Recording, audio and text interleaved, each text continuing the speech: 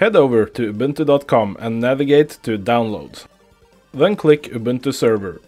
Select option 2, Manual Server Installation, followed by Download Ubuntu Server to get the ISO file. Back in Proxmox, click the drive named Local in the server view. In the menu to the right, click ISO Images, then Upload. In the Upload menu, click Select File to open a file browser. Navigate to where the ISO file is stored and open it, then hit Upload in Proxmox. You are now ready to configure the VM. Click Create VM in the upper right corner of Proxmox. If you have multiple Proxmox nodes in a cluster, make sure you have selected the right node. Type in a name for your VM and move on. Select the ISO you wish to install, then move past System over to Disks. Enter the size of the drive in gigabytes, then select where you want it to be located. Give your VM a few cores to work with. You can allocate all of them if you wish, but you might run into issues doing this. How much memory you should give a VM depends on what you will use it for, and how much you have in the machine. The amount can easily be changed later. Ballooning makes it so you can allocate more memory to virtual machines than you have.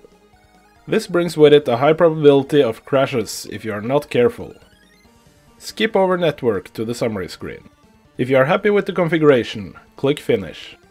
The virtual machine will show up in the server view when created. Open a console window to start the installation. Click enter to select the language you want it to install with. Both the old and the new installer works great, so it's the same which one you pick. Select the layout and the variant of your keyboard. For type, just keep the default. If you will be connecting to the virtual machine, give it a static IP. Navigate to and click the network card, then edit IPv4.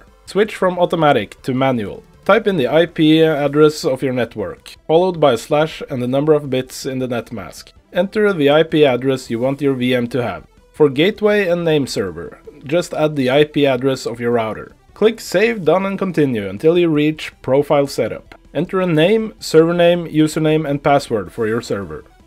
Make sure to tick the box next to install OpenSSH server so you can connect to it later. If you see any featured services you might like, tick the box next to it. Clicking Done will start writing Ubuntu to the drive. When the installation is done, you will be prompted to reboot the system. Ubuntu will be unable to unmount the ISO file. Proxmox will automatically change the boot order, so just ignore it and press enter. After the system has rebooted, you are able to log in with the username and password you created during the installation.